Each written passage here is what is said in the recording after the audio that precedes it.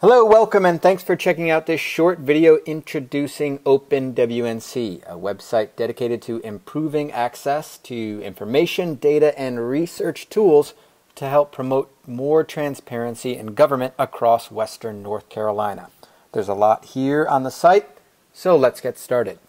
Let's say you wanted to check out data sets related to a county. There's two ways you can do that. You can just click the Counties tab and then here you have all 18 counties listed.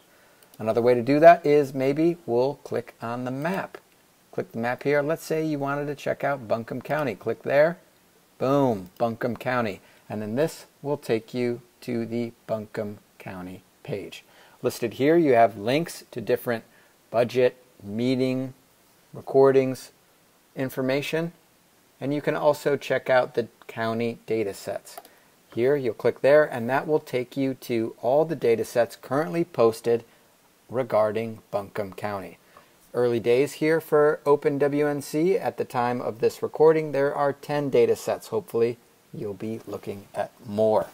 Here you'll scroll through. Most of this is census data, including education information by county, business owner demographic data by county, and more, including the Buncombe County audit, which is filed with the Local Government Commission. If you wanted to check out, let's say, education info by county, you'll click there and you'll see that there are two data sets related to education info by county. Um, if you wanted to download any data set, that's all you'd have to do. Hit explore, hit download, or you have a preview function available on the OpenWNC website. Click that, and here listed by county, all the counties, are high school and bachelor degree percentages for all counties, including Buncombe.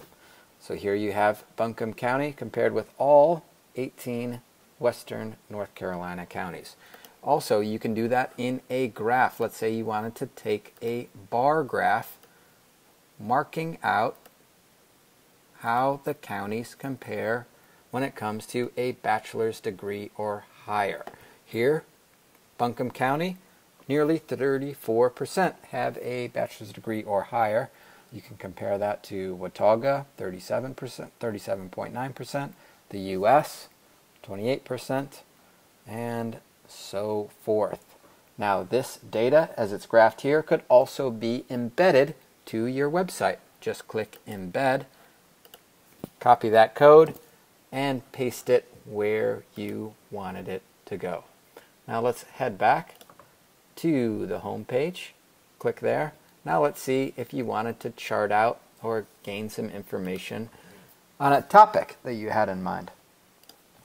You can just use your search information. Let's check out audit or, you know, how or budget and then you'll see all these different data sets posting for a topic that you're interested in.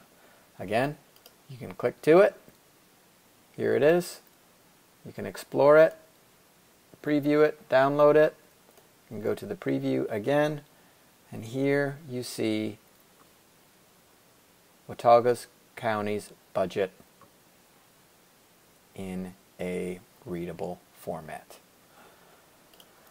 We can go back to the home page and now let's say you're interested in information on elected officials. Roll over to the elected officials and you'll see government.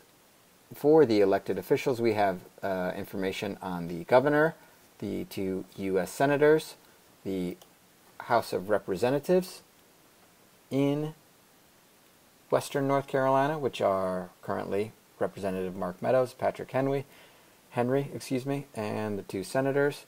And then we also have information on state senators and state representatives. Let's just check out Governor Pat McCrory's page. Here you'll see this information taken straight from his website. Um, you could click the email to email him. The website will take you to his website, and then a campaign finance link will take you to uh, campaign finance information uh, on Governor McCrory with followthemoney.org. It's a uh, money in state politics, the National Institute on Money in State Politics. And here you can scroll around, you can download the data, work with it as you would. Say you want to go back to OpenWNC site, and that is a pretty quick walkthrough of what we got. Now, of course, it is an open data portal, so we would like to encourage individuals to post data to OpenWNC. We've got another video on how to do that, so go ahead and check it out. Thanks for your time.